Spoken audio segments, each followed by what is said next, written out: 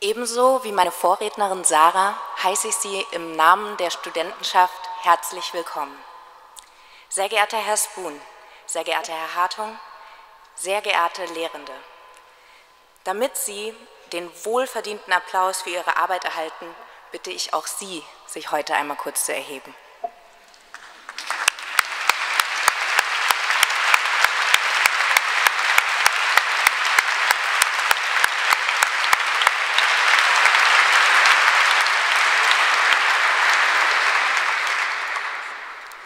Liebe Eltern, liebe Großeltern, liebe Geschwister, liebe Partner, liebe Freunde aus nah und fern. Wir freuen uns, dass ihr euch alle auf den Weg gemacht habt, um heute mit uns gemeinsam zu feiern. Liebe Musiker, liebe Organisatoren, auch an euch ein großes Dankeschön. Meine lieben Absolventinnen und Absolventen des Abschlussjahrgangs 2015. Wir haben zu einer Zeit zu studieren begonnen, die ziemlich interessant war. Ich kann ja nur für mich selber berichten, aber in meinem Fall war das im Oktober 2008 in genau dieser Kirche. Oktober 2008. Das war der Monat, in dem die Bundesregierung sich auf ein Bankenrettungspaket von rund 500 Milliarden Euro einigte. Oktober 2008. Das war der Monat, in dem ich und rund 200 Kommilitonen anfingen in Lüneburg zu studieren. Was? Genau, klassische BWL. Genauso könnte jeder und jede von euch hier heute eine einzigartige Geschichte zum Studienstart erzählen.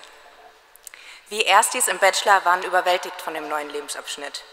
Da war die erste WG, die erste MyStudy-Anmeldung, die erste Vorlesung, die, das erste wissenschaftliche Handwerkszeug, die erste studentische Initiative, die erste Campus 1 Party, die erste Studierendenparlamentssitzung, das erste Auslandssemester, die erste Spezialisierung und die erste Abschlussarbeit. Es ging recht schnell, da waren wir schon im Master.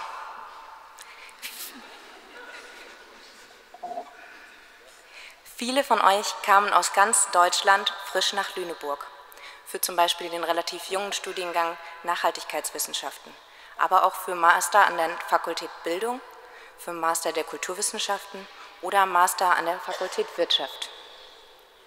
Wie erging es euch neueren, neuen Erstis in Lüneburg? Ich bin mir sicher, ihr habt das Lüneburg einmal eins schnell verstanden.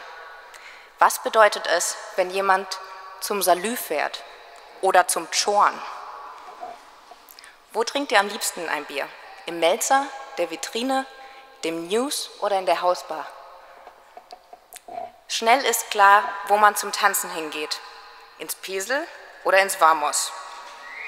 In den Salon oder lieber ins Anna und Arthur. Ihr habt bestimmt auch schnell angefangen, über rote Rosen Straßensperrungen zu schimpfen. Seid den Kalkberg erklommen oder schwammt in der Ilmenau. Vielleicht fingt auch ihr an, Pralinen und Lünebohne als Geschenke in die Heimat zu schleppen. Für uns Hiergebliebene war es am spannendsten, euch auszufragen, warum es euch nach Lüneburg verschlagen hat und was ihr von unserer Uni im Vergleich haltet. Ihr habt frischen Wind reingebracht in unsere angekrusteten Subkulturen. Unzählige, auch fächerübergreifende Gruppenarbeiten später sitzen wir nun hier wir sind gut ausgebildet, weit gereist, praktisch erfahren, vielseitig vernetzt und haben die Masterthesis hinter uns gebracht. Wir, die Absolventinnen und Absolventen des Abschlussjahres 2015, sind bereit für den Arbeitsmarkt. Die Generation der um die 30-Jährigen, die jetzt voll Selbstbewusstsein auf den deutschen Arbeitsmarkt schlendern, könnte man durchaus als Generation Pippi Langstrumpf bezeichnen. Denn die Generation macht sich die Welt, witte, witte, wie sie ihr gefällt. Es ist, als sei Pippi tausendfach erwachsen geworden und ins Büro, im Berufsleben angekommen. Die Neuen wollen Spaß haben, schnell vorwärts kommen und dabei wenig Zeit in ihrem Job verbringen. Und nebenbei wollen sie auch noch die Welt retten. Ähm, ja, ich fühle mich ertappt von diesem Artikel aus der Zeit, der die Diskussion um die Generation Y und die Generation Pippi in die öffentliche Debatte brachte.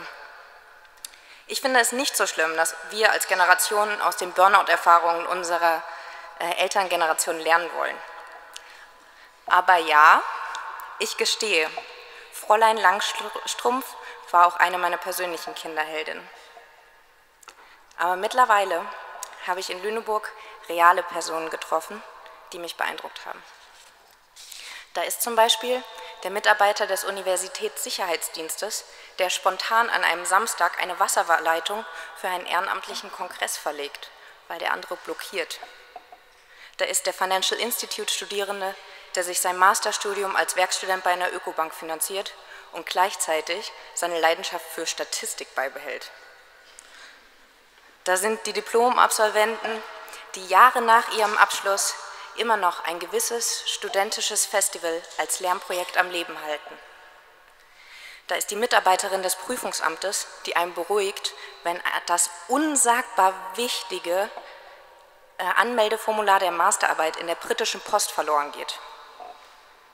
Da ist der Management-Masterstudent, der unbedingt nach Lüneburg wollte, um neben dem Studium ein Fairtrade- und Bio-Mode-Label aufzubauen. Da ist die Mitarbeiterin der studentischen Fahrradwerkstatt, die auf eigene Faust eine Radtour von Bulgarien nach Griechenland organisiert. Da ist der Geschäftsführer eines regionalen Unternehmens, der sich ohne ersichtlichen Output als Praxispartner zur Verfügung stellt.